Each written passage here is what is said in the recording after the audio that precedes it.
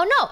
A trolley is heading towards your worst enemy. You can pull the lever to divert the trolley and save them. Or you can do nothing and no one will ever know.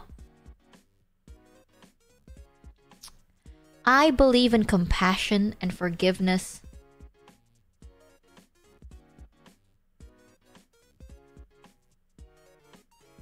I am a person of compassion and understanding.